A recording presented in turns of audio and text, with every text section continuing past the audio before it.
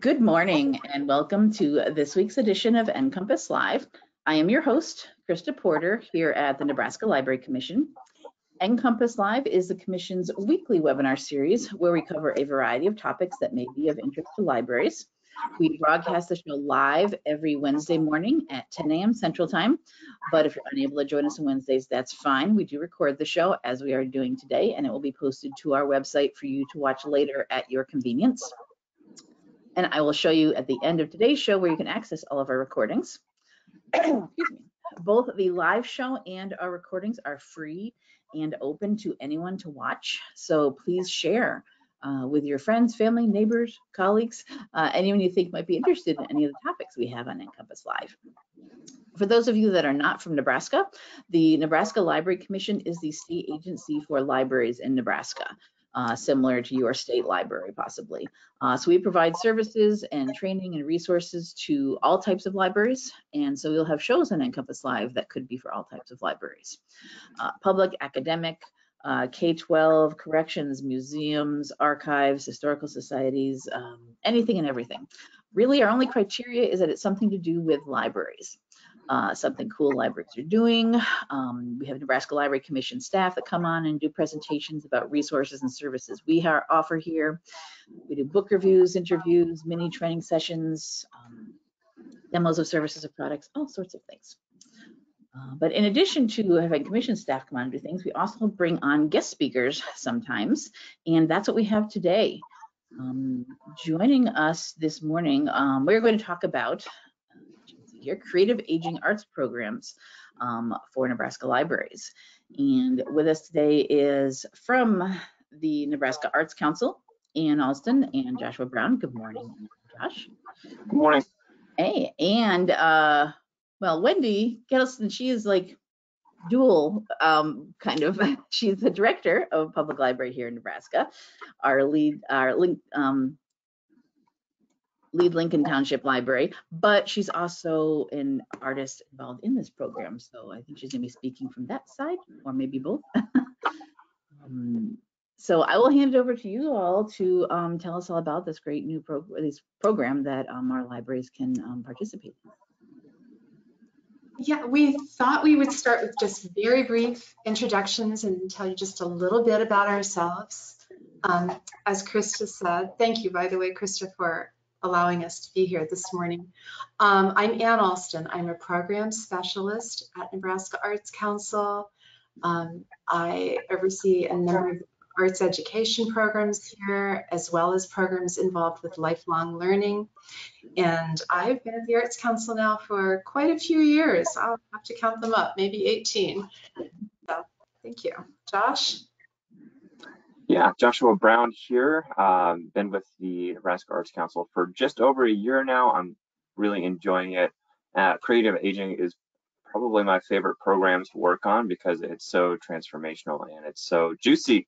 And I can't wait to tell you guys more about it.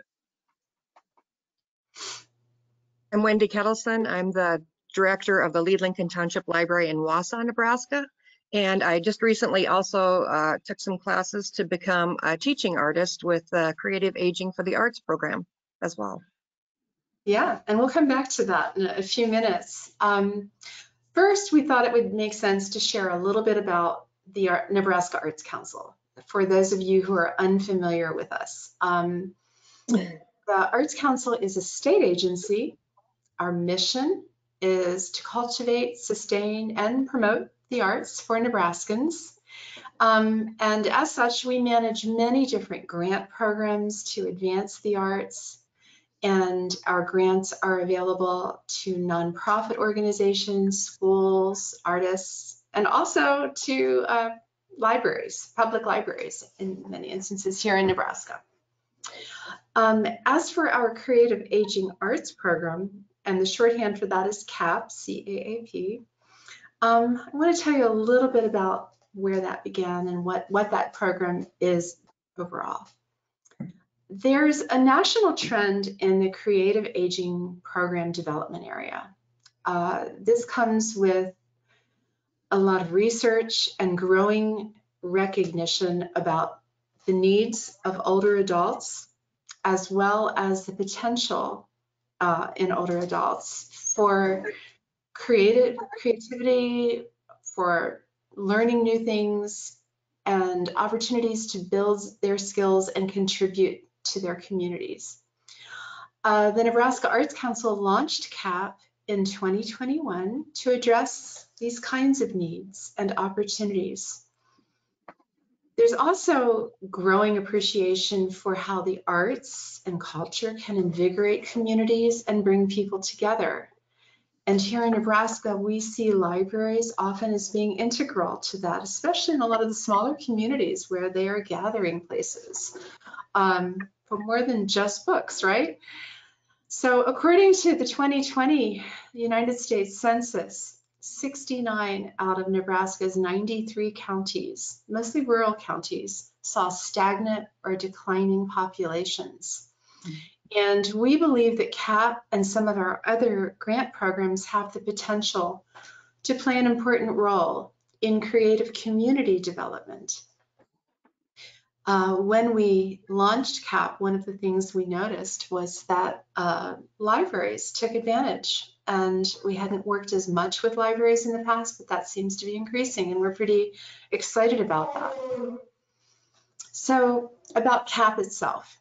The core programming involves interactive workshops for older adult participants, and we define that generally as 55 or older.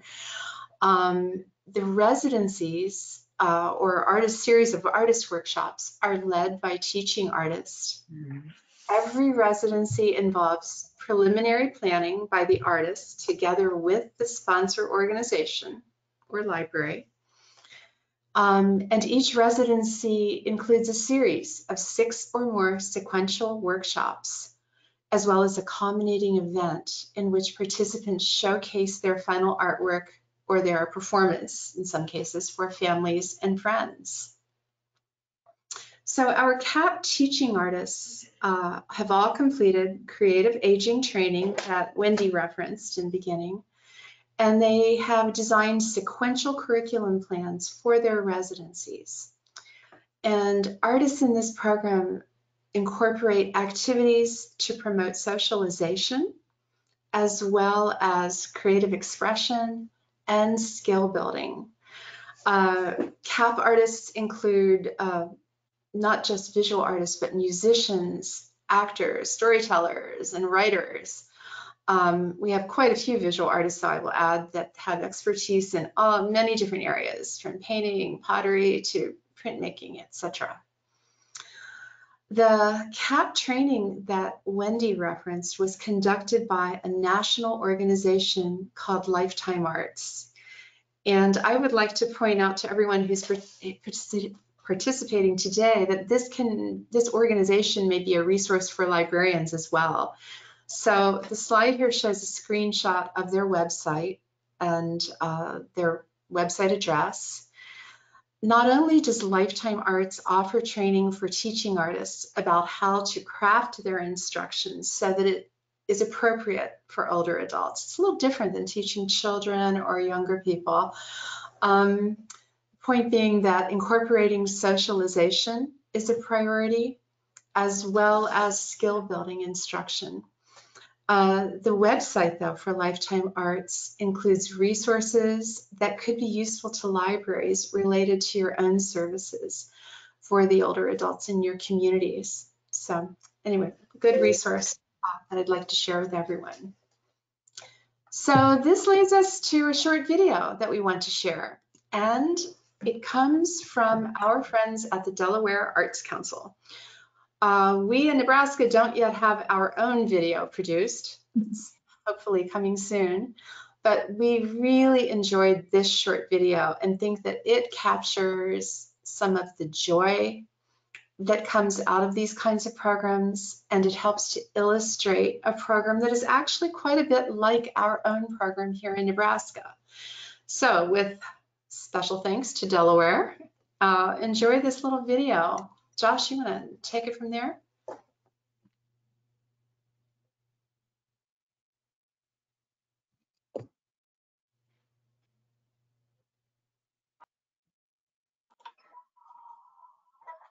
Can you hear it okay? Is there any sound yet, or is it just, I don't hear sound yet? Mm-mm, Not hearing sound. But you can hear my voice. Right. Yeah.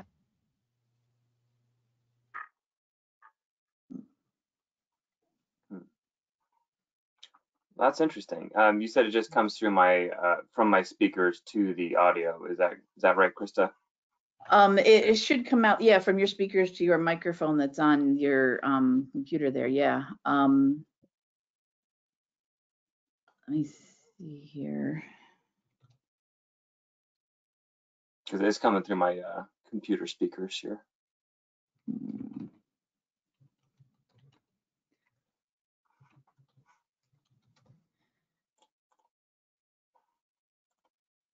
Here. Um.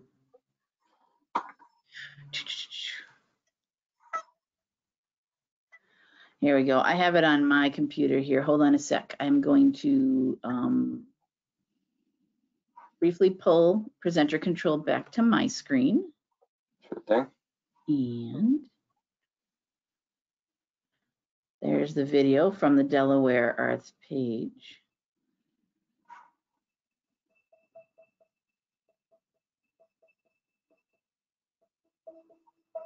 Are you hearing the music now? It's kind of faint, but we can hear it a little bit.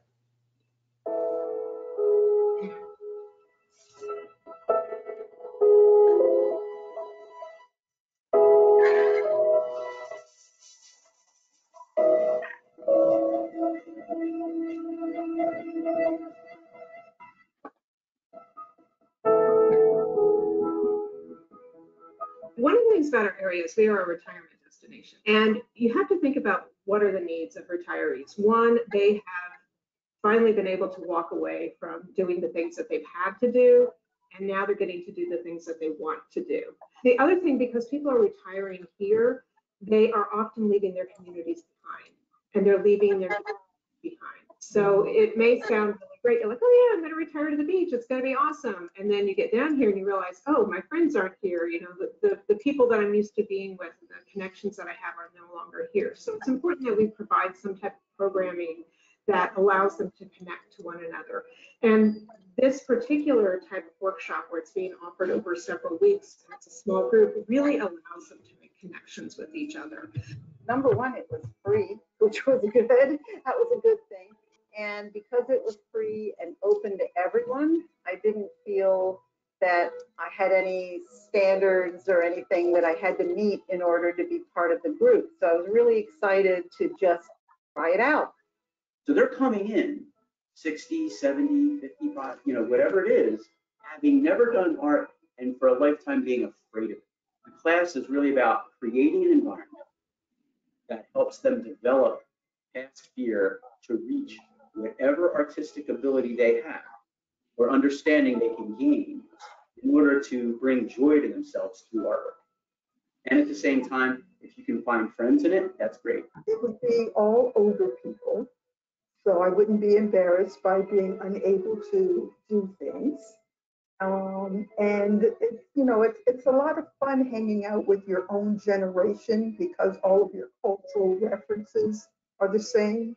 My office is clear across the library. I could hear them all laughing and having such a good time each week that you, you can hear the happiness that they're having in here. people are very enthusiastic about learning something new. And across the board, in every class I've taught, they were almost convinced they couldn't do it. Uh, this is too complicated, I'll never get there. And I said, trust me, we'll go through things step by step. The whole point of the creative aging programming is that it is progressive in that you start with a basic skill and you build on that, build on that, build on that across the, the weeks. creative aging, the, the idea is not that different from how you teach any class if you're approaching it from a space of seeing the students, noticing who and what they are and what they and who and what they need. And so with that center on seeing the student, the way that you teach a dance class is different for a preschooler as compared to a middle schooler, as compared to a professional dancer, as compared to an older adult. But my job as the instructor is to say, hello student, what is it that you need? Why are you here? and then walk you forward from there.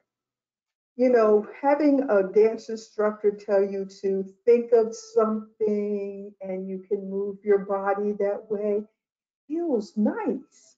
So I think the arts really have improved my life. It is something that we would never be able to offer if it hadn't been for the Delaware Division of the Arts. But Without that money from um, Access Creative Aging, no, we would not have been able to offer that. One of the focuses on top of bringing arts into the community for people of a certain age was the fact that the artists were to be behaved fairly, which as much as people love the arts can be difficult sometimes. Um, and so it made it worthwhile to spend the, the amount of time I had to spend on getting these projects ready and present them. We've seen some really incredible friendships form. You know, they'll start by kind of chatting with each other. And then next thing you know, they're going out for like coffee or a quick bite afterwards. And then you hear that they're going on vacation together and just these really, and they're supporting each other as they get older because also there are life changes that happen. Partners get sick, partners die. Um, and they're able to get that kind of support that they need. And it kind of starts by just getting to know each other through things like programs at the library. It's all about the ripples. Like I can be a little rock and I can hit the water and I can send out a few ripples.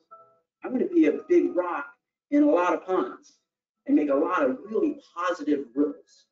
Because in my head, my other philosophy is if everybody did that, if everybody had a mindset to help each other, the world changes pretty quickly. And it makes them feel part of something.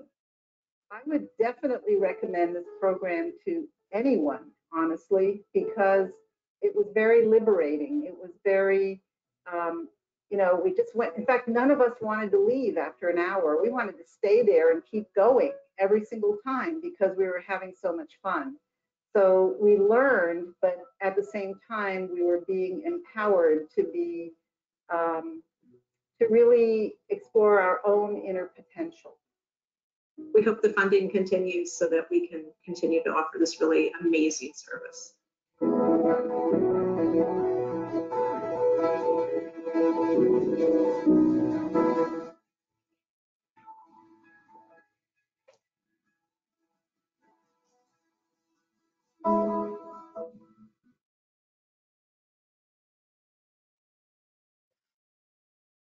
All right. Well, Krista, thank you for coming to the rescue. Sorry, the sound there was a little wonky, everyone. Um, didn't quite come across the way we, we had hoped, but still, I hope it got the idea across. Um, we have different artists, we have different libraries, different venues, but here in Nebraska, we've got a really vibrant program going, so we're happy to share it with you. And that brings us to Wendy, who's going to tell you about personal experiences and what you've been doing, Wendy, uh, in Wausa in the past couple of years. So take it away.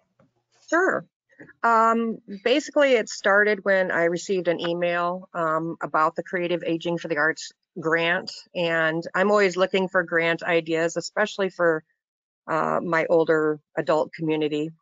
Um, I had been offering art classes myself at the library sporadically, but not um, regularly by any means. And I knew that people in the community would really love this program. So, but before I applied for the grant, I reached out to our local assisted living facility and I talked to the director there to see if any of the residents would be interested in this program. And she thought it was a great idea. Uh, so I let her know that if I did get the grant, that I would have the residents sign up first, and so they'd get first chance at being in the classes. Um, and then I reached out to some of our older library patrons that were coming in and asked them if they were interested, um, and some recently retired people that were looking for things to do. I asked them if they were interested in the program, and basically kind of started a list of people that were interested if I would happen to get the grant. Um, so then I went on to the Nebraska Arts Council website um, to start the application process. And when I was on there, I was looking at the list of creative aging for the arts artists that they have on there that you could pick from to get for your library. And the very first two artists listed on that site, um, on that list, uh, were both in my general area. They were kind of closer by. And they both had classes that I really thought my patrons would like. Uh, so the first artist that I reached out to uh, was Carolyn Albrecht. And Carolyn teaches uh, art education at Wayne State College and also has her own art studio in Wayne called Blue Cat Gallery and Studio. Uh, so Carolyn's program was listed as mixed media, paint, draw, cut, and sculpt. So I emailed Carolyn and talked to her a little bit. She emailed back and said she was willing to do a residency at our library. So I got all of her information and started that grant process. Um, around that time um, that I was working on the grant, I had some questions. So I talked to, uh, called Anne and talked to her. And in our conversation, I found out that I could apply if I wanted to for a second residency at the library. So I had so many people on my list interested in an art class that I went ahead and I decided to do a second application as well. Um, I reached out to the second artist um, on the Creative Aging for the Arts program artist list, and her name was um, Ariadne Albright. so she has a hard name to pronounce, but she calls herself um, Ari for short. Uh, and so Ari is an artist in Vermillion, South Dakota, and her program was listed as Our Barn Quilts Histories Painted. And this also sounded like a class that my patrons would really love to have. So I reached out to her to see if she was interested. And she was, and so I started coordinating dates and times with both artists uh, so I could finish the grant writing process. Um, I sent in my grants and then I found out that I was approved for both grants. Uh, so I contacted both artists and let them know that we were on for the classes.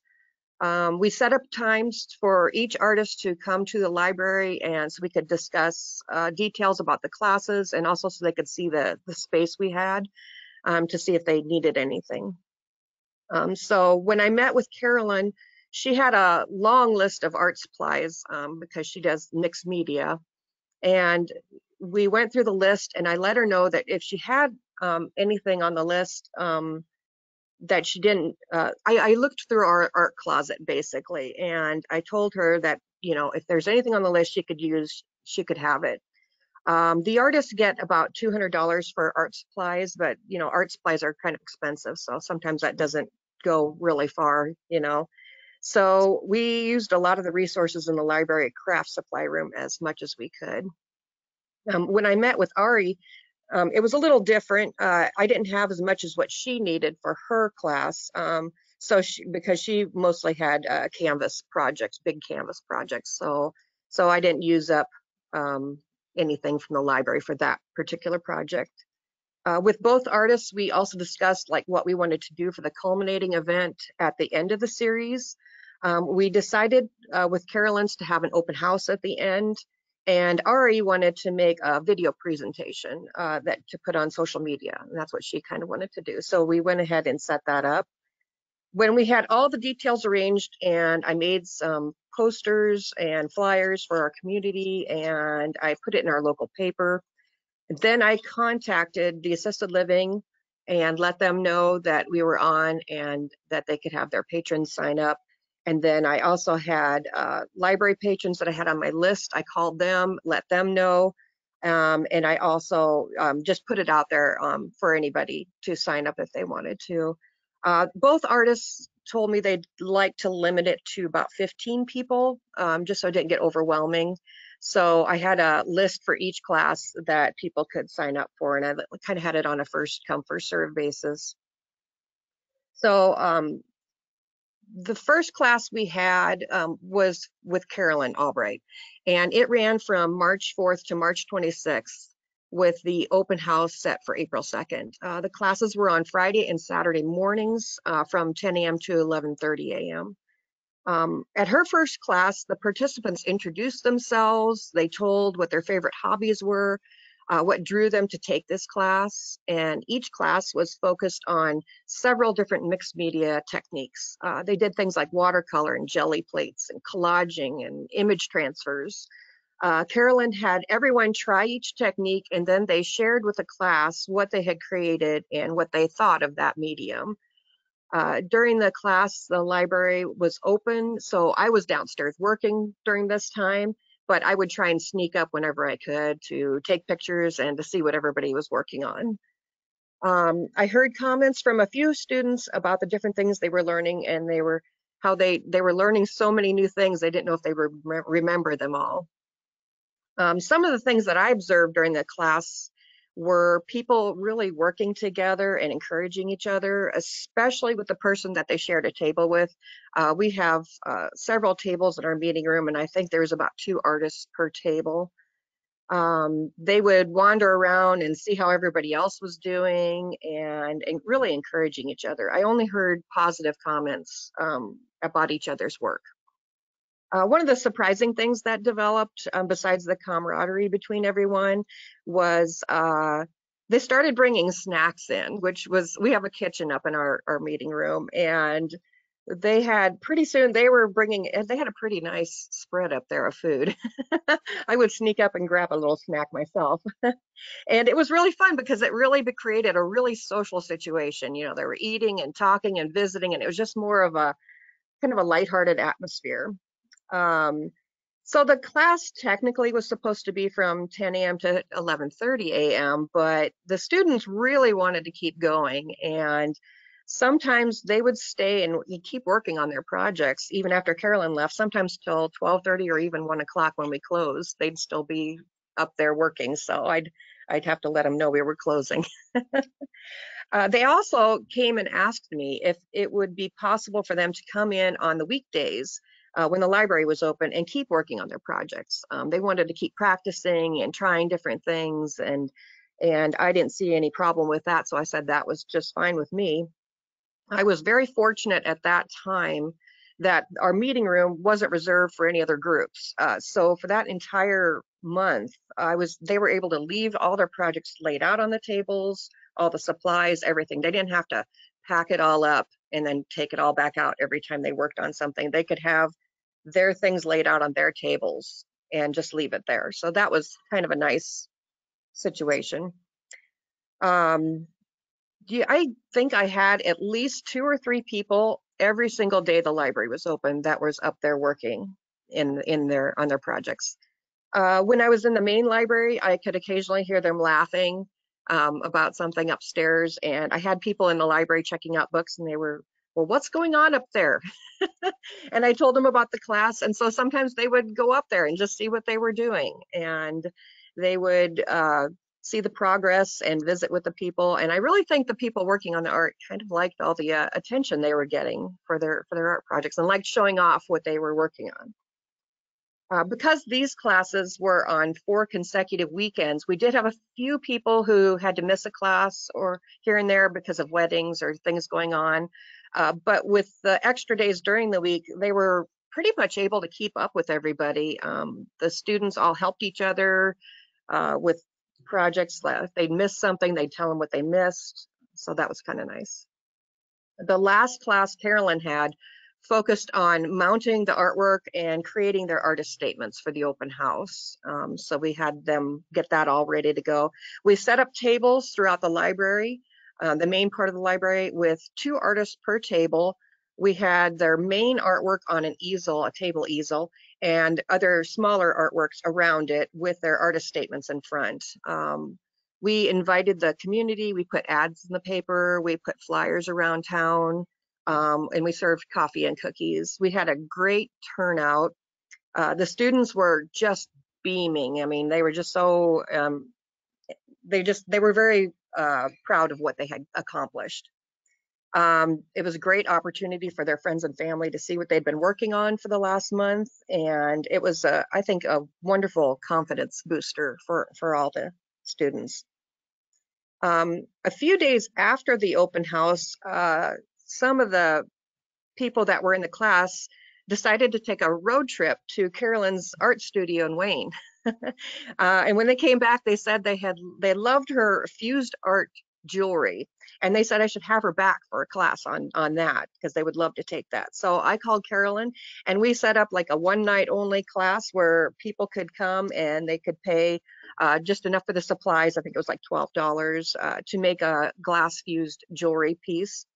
And I really think she made an impression on them. Um, they still uh, hang out together to this day. So that was kind of neat. Um, our second class started not long after that. Uh, we had um, Ariadne Albright come from April 18th to May 12th with the culminating event on May 16th. And these classes were on Mondays and Thursdays from 3 p.m. to 5 p.m. Uh, once again, the classes were held during library hours, so I would pop in when I could to see what they were doing and to take pictures. Um, Ari had the students work on small projects to learn about basic painting techniques first before they really started on their big project. And so they made a lot of really neat little projects um, before they got to their big one. She had uh, students pair up and brainstorm about ideas about like what personal symbols they could incorporate into their final project. Uh, and they, I think she also videoed them explaining like why they picked what they did, what it meant to them. So that was kind of a, an interesting take on that. Each student designed and painted their own personal barn quilt on a two foot by two foot canvas. But we had one gentleman who had a, I think it was three foot by three foot or four foot by four foot. I'm not sure how big it was. He had a big piece of wood that he wanted to do his final project on. Uh, he had been in the library much earlier than this, uh, looking for information on barn quilts and because he wanted one on his garage and he was trying to figure out how he could get one made for him possibly. And I told him about the class and I encouraged him to just sign up for it and, and make one himself. And so he did. Uh, he wasn't sure how good he'd be at it with straight lines and things, but with the help of some painter's tape, he did a he did a really nice barn quilt for his garage. Um, he is the gentleman standing right in the middle of the picture there. So yeah, it turned out really nice, I think. Uh, each barn quilt was so unique and so well done. Um, Ari made a video of the final, for the final culminating event to share on social media and it had pictures and videos of students sharing their experiences. Um, but I talked to the students and although they loved the video, they also wanted to have their own open house. um, so we set up another open house about the same way we did the first one with tables and easels and place cards with the artist names. And we had another great turnout.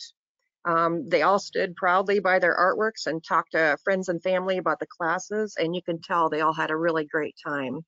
Some of the themes I, you can see in here um, and some that aren't in there are they had uh, one lady sewed so her her theme was uh, thread spools and that was her pattern. Uh, there was uh, bruce in the middle there had a family crest that's on there. Uh, ari actually did one with the class and she did one uh, that was swedish um, from our Dala horses that she saw around our library. There was the abstract barn which was one of my favorites. I really loved that one um, the acorns, um, that had something to do with her childhood, her, her childhood home, I believe.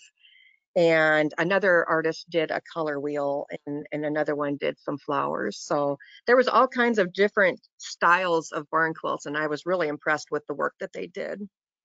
Um, still a year later now, I have had people come to the library regularly asking, when am I going to have another art class? And which I'm got some in the works. So and I still hear about how much fun they had and how much they appreciated us offering them. And to this day, this is one of the most successful adult programs I've had at the library.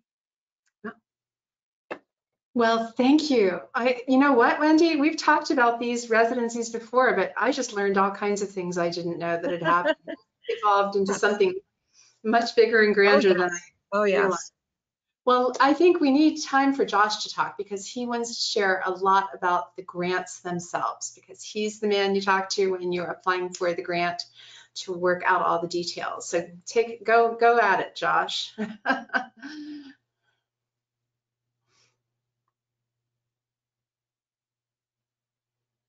okay, um, we had a couple of other slides just talking about some of the other locations that have had hosted programs uh, you can see just from this list, it's it's really all over the state, and we're looking forward to adding more stars to the map. Um, my mouse seems a little possessed today. Uh, I think the mouse wheel is sending me through through my slides. Uh, here's another one that took place, a storytelling workshop with D. Kevin Williams. Um, but I mostly want to spend time talking to you today about how to apply. Uh, this is our, our landing page for our website, and there's some really great resources here. Um, I encourage you to, to, check out the Explore Arts in Nebraska and Discover Arts Education areas because there's a ton of resources in there. But I really want to focus on uh, applying for the grant today and navigating the CAAP website. Um, I'm going to go ahead and um, this is kind of what the landing page looks like, but I'm actually going to take you there and show you what it looks like. So if you go to the Arts Council website that we that we were just looking at here and go down to apply for a grant, um, you'll see the Creative Aging Arts program right here, and it's going to take you to that landing page. Um, this page has a lot of information about how the program works, uh, who it's for, who can participate as, a, as an instructor, um, and then some, some information about eligibility for a sponsor. That would be important information for you all as librarians who are program sponsors. Um, eligibility, uh, non, and talked about this a little bit, uh, libraries, public agencies, nonprofits, um, churches, synagogues, mosques, any of those places, uh, we can host creative aging programming. Um, deadlines are floating, which means that uh, there's no no hard and fast deadline. It's not March 15th or October 1st or anything like that. It's just six weeks before the program itself starts. So um, that gives us time to check check through the details of the application and get payments organized. Um, we, we, do need six weeks. Uh, if if you apply for a date sooner than that, I'll ask um, that you get back in touch with the artist and see uh, if we can get later dates scheduled. Uh, you'll see at the top of this page as well. Uh, right now, all of our 2022 grants are closed, um, so that means no no new applications for uh, the time between now and and June. Um, but you can apply for programs after July 1st right now.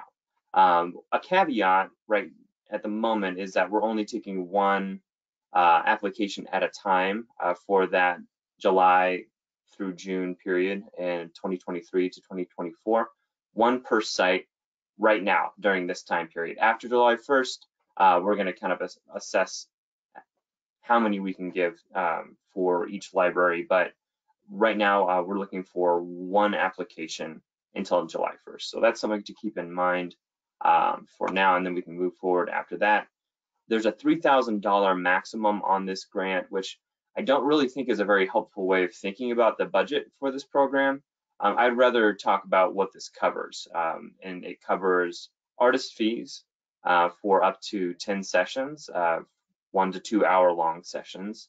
It covers supplies uh, to the tune of $200, like Wendy said, uh, and it also covers a little bit of a stipend uh, for the, the library to help cover any hours uh, that you might have to stay open outside of their, your regular schedule to keep the lights on, whatever it is, it's just $200 as well for the library. Um, in addition to that, if you want uh, to get Ariadne to come and do a program at your library in Omaha, we provide travel stipends for that as well. So that makes it a lot easier for artists from across the state um, to take advantage of this program, especially in areas where uh, population is less dense. You can get somebody from Kearney to come or somebody from Lincoln to come out and uh, do a program, and, it, and, that money covers their their driving expenses, hotels if they need it. Really, it's quite quite a generous grant in that way. Um, applying is easy. We really tried to keep this application simple enough um, because we knew a lot of first timers would be using it. Maybe not first time grant applicants, but first timers with us here at the Nebraska Arts Council. So it is a pretty easy application. Uh, that's another reason why we're asking for just one at a time until July 1st, is because um, I have to process them all. uh, and that takes me some time too, and I want to make sure I have time to do that as, uh, as well as I can. Um, to go ahead and apply, you can do it from this page, the Creative Aging Arts Program page. Clicking uh, Apply Now, there's another way to do that here, and we'll come back to that just in a moment.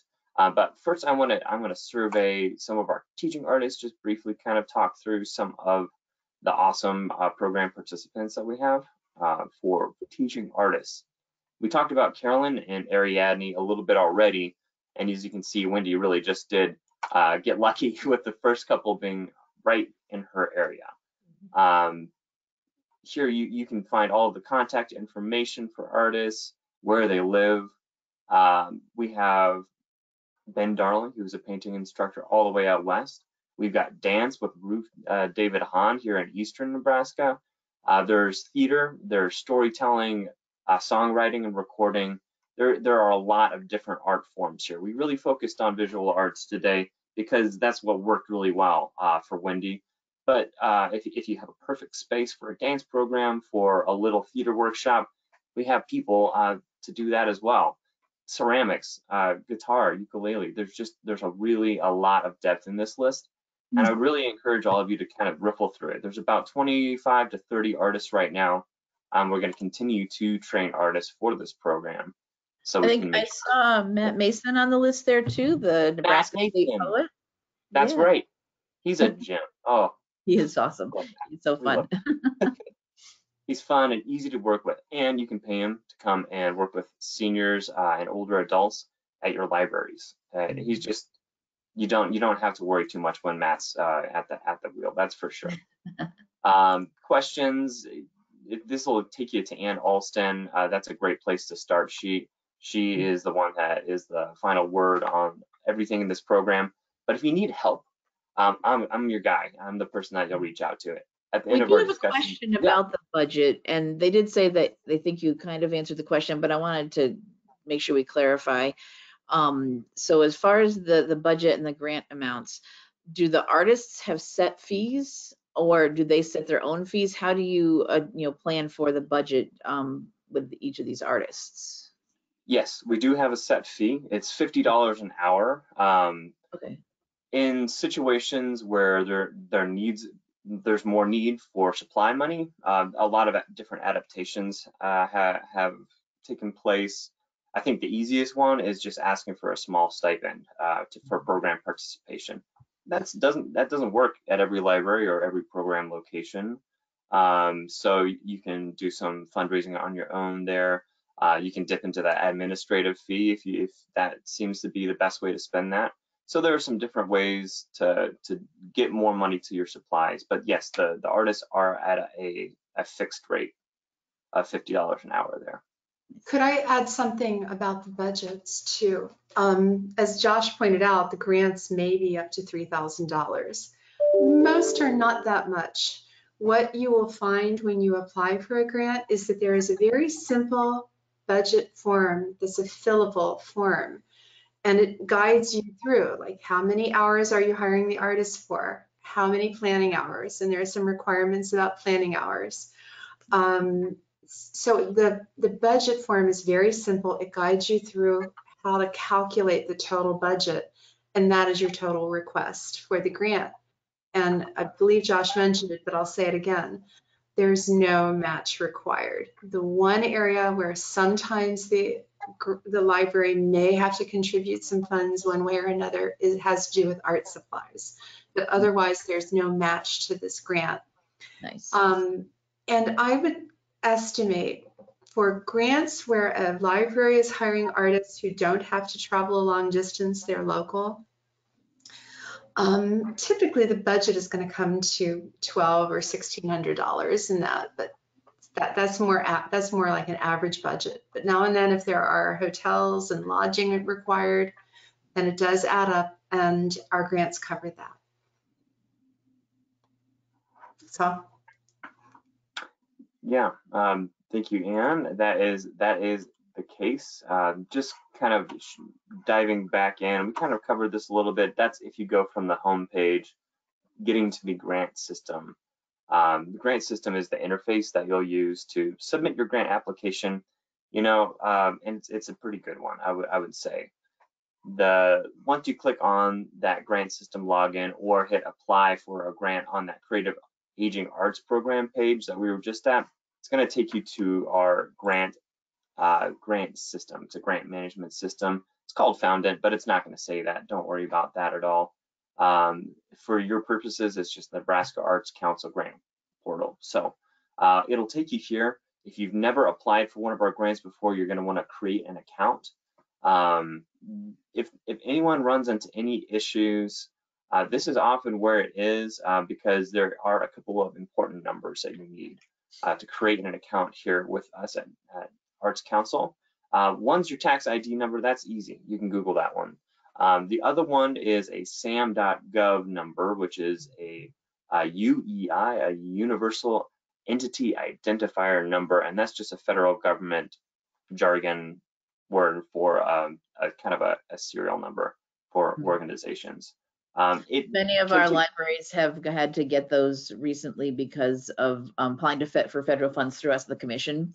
So um, some of our libraries have one already. So if you have one, you're good to go. If not, we can help you get one too and figure out how to get it. Basically, go to sam.gov and it guides you through what you need to do to apply for one. Doesn't cost anything. It's just in order to receive federal funds that and our, their funds trickle down from Fed, federal government, so do ours uh, for some of our grants, they need that as your ID number with them.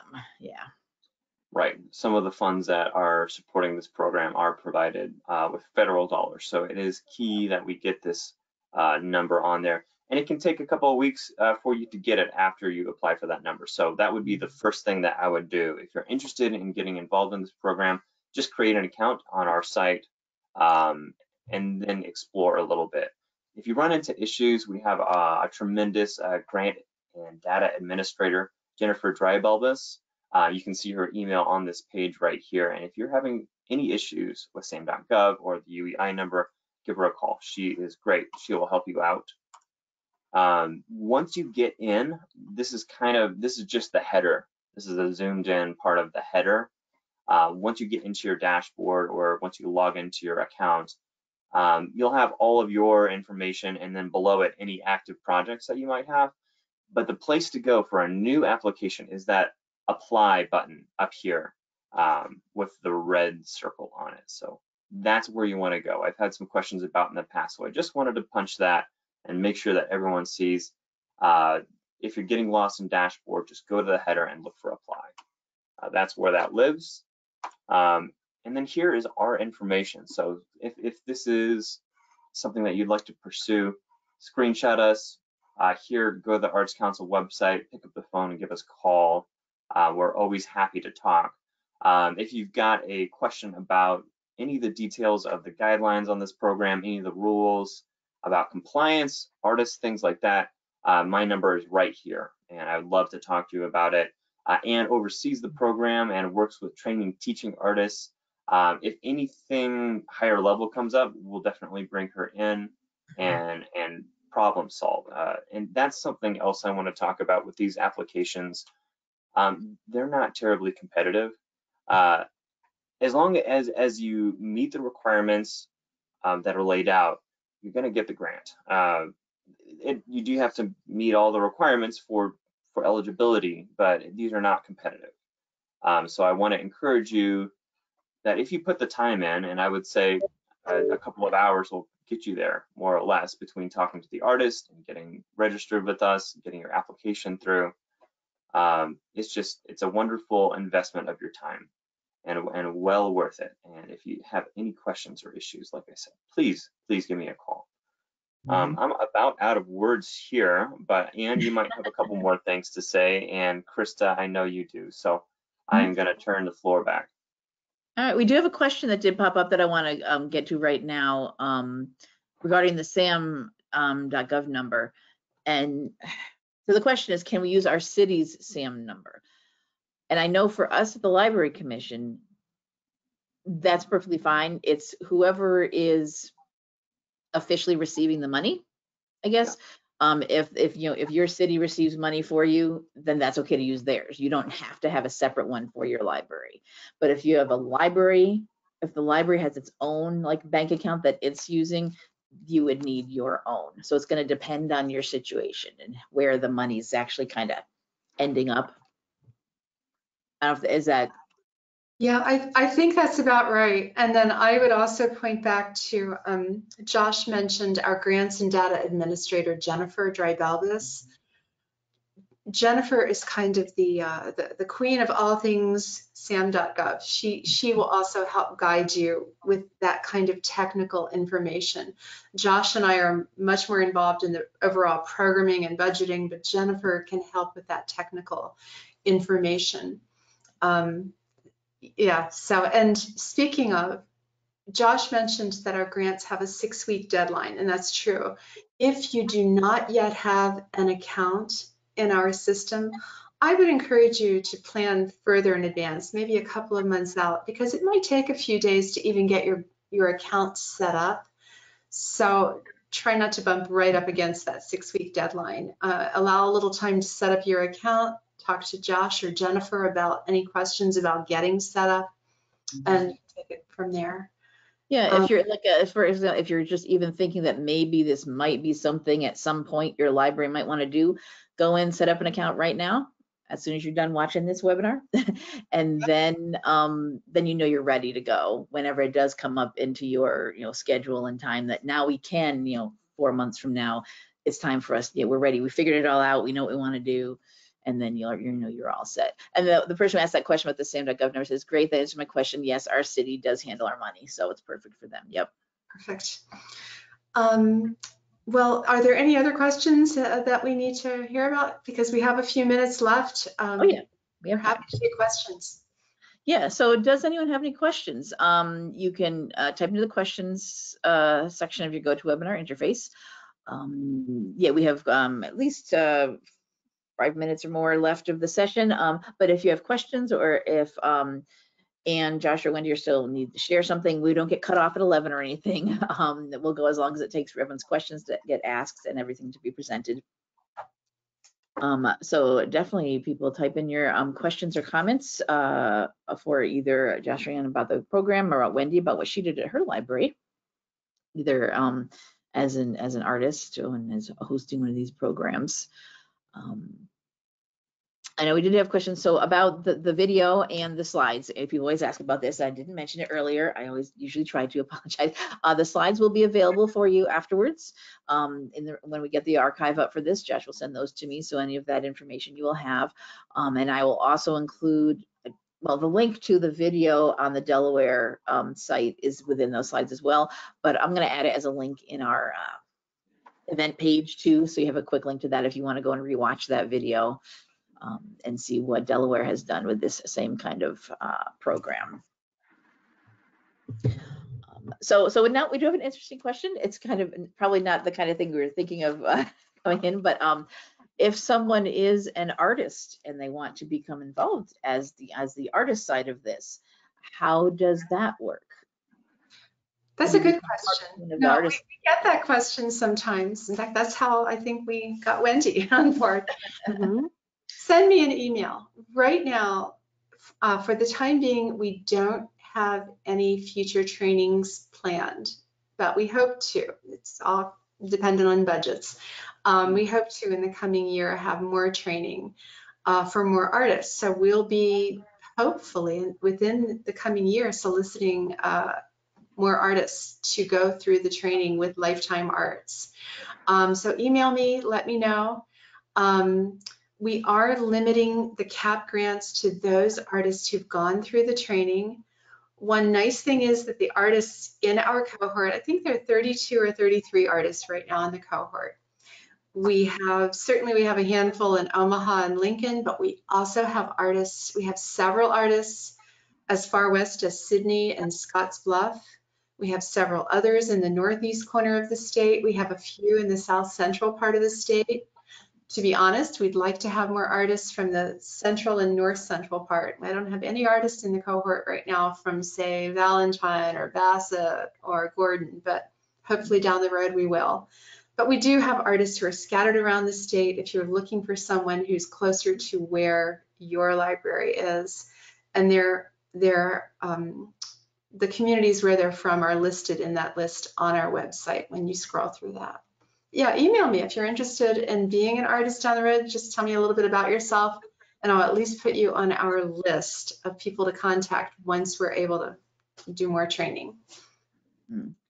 Um, Hmm, Okay, so here's another question about the artist sessions, the, the actual events themselves. Um, so for planning, how long should an artist session last? Each one of those sessions? We recommend between an hour and two hours long, up to two hours. And it sort of depends on the population. Um, perhaps sometimes these residencies take place, for instance, in nursing homes or assisted living facilities where maybe two hours would be too long. And it have to work within their scheduling and what they do, yeah. So there's that, but it also depends on what the artist does. I mean, Wendy, I think that you found with visual arts, with art making, whether it's printmaking or mixed media, sometimes that full two hours is needed. Whereas if you're absolutely. bringing a writer or a storyteller, an hour and a half may be sufficient. It, it depends. Yeah, Wendy, did you want to share about your, Yeah, so um, I believe, especially with painting, and I'm an artist myself that way. So I think two hours is is really needed for something like that to really to get anything really done. So um, like I said, uh, the people taking these classes actually stayed even a little longer, which was fine with me, but may not work for everybody's library. So I would say two hours is what we kind of aim for. max out? Yeah. Awesome, all right. Um, and I don't know if you mentioned this earlier, um, there's a lot of information, which is great. Um, is there, someone wants to know, um, is there an end to this program to when this funding is available or to be used? How long do libraries have to join up? I mean, we mentioned set up your account now and then in a few months apply. Like, is there an end date of when this particular grant funding has to be used by, kind of? Um, we'll we'll uh, keep running it until we run out of funds for this year. I think each year we kind of have a different set of guidelines and a different budget. So we're committed to continuing to work on creative aging um, as as an agency. The particulars are going to vary. And I will add that to clarify, when we talk about our, our fiscal year is from July 1 to June 30th. Right. So right now, the grant applications that we're accepting can, for- are for projects that can take place anytime between July 1 of 2023 and June 30th of 2024. Right, yeah, that's, that's our, our budget too, that's a state thing, yep. Sounds familiar. I- I don't see any other questions right now, and we're almost at 11 o'clock, so we might start working on wrapping up today's uh, webinar. Um, If you do have any other questions, we've got a few more minutes here, we'll do wrap up, you know, you know, desperate things you want to ask right now, get it into your question section there for um, Anne, Wendy, or Josh. Um, otherwise, you've got their contact info as well here. You can reach out to them. So uh, thank you everybody for being here today. Thank you so much, Anne and Josh and Wendy. This is um, a really good program. As you mentioned, we were surprised kind of that libraries had jumped on it when you had offered that first round of grants. And I remember, I think you had reached out to me and said, hey, can you share this with libraries? We're doing a new thing. And I just put it out on our, we have a grants for libraries website um, where I try and provide, there's of funding that libraries can apply for from all sorts of places and push it out into our mailing lists and blog and whatnot. And I sent it out there and I'm just so glad that libraries actually, you know, I never know sometimes if they are actually applying for some of the things that I share. I, I just put it out there and hope, um, hope for the best. And um, I thought, I'm so glad to hear that they did and that it's even being expanded. And hopefully we get way, lots more libraries for participating in this. All right, I am going to bring presenter control back to my screen again to do my little wrap up here. Waiting for it to come up. There we go. Uh, so this is the uh, session page for today's show.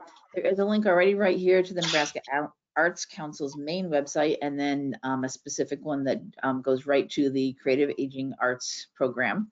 So you'll have that right there when you um, get the recording uh, link as well, and it has all that info and everything that Josh was showing. The recording should be available and ready uh, by the end of the day tomorrow at the latest, um, as long as GoToWebinar and YouTube cooperate with me. uh, everyone who attended today's show and uh, registered for today's show will get an email from me letting you know when it's ready to go ahead and, and watch. We also push the information out, as I mentioned, in various social media. We have our mailing lists, uh, Twitter, Instagram. Um, we also have, there's a link here, you can see it, a Facebook page for NCompass Live. So we will promote it here as well. Um, announce it here and there here as well. Here's a reminder to log in today's show. We did our, uh, this might have been what your daughter saw. We did our little meet the presenters. We always do that uh, as promoting the show. So um, look here as well if you like to use Facebook, give us a like. Otherwise, we do use this uh, little abbreviated hashtag ncomplive. Everywhere else, we try and post things about the show. Um, and as I said, I will add, I don't have it on here yet, but I've got the page right over here, uh, Delaware's Creative Aging Program, where that video is. So I'm going to add a link to this page from this page here. So uh, when we when you get the archive and everything, that will be all available for you. Um, so thank you everybody for being here. Um, Josh, Anne, or Wendy, any last words before I totally wrap things up for today? I just want to extend a giant thank you to you, Christa, for making this happen and to all the participants who joined us today. Thank you for your time. Really appreciate it. And we hope to hear from you. Yeah. Awesome. All right. So that'll wrap it up for today's show. Um, I'm going to go to our main NCompass Live page here. We've got our upcoming shows for the next few months already filled in. Um, so you can sign up for any of those. Um, next week, it will be Pretty Sweet Tech Day. Uh, the last Wednesday of every month is Pretty Sweet Tech. It's a session where uh, Amanda Sweet, our technology innovation librarian, comes on and talks about something tech related. Um, we have shows about techie things uh, other times sometimes, but you can always depend on the last Wednesday of the month. If you're into tech at your library, this is the one show to attend.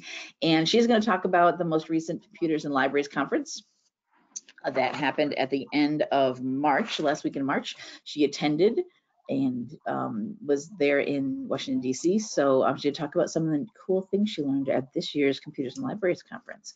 So uh, definitely sign up for that if you're interested and any of the other shows we have coming up on NCompass Live. Other than that, that is it for today's show. Thank you everybody for being here. Good to see you, Anne and Wendy and Josh, and hopefully we'll see you all on a future episode of NCompass Live. Bye-bye. Bye-bye. Thank you.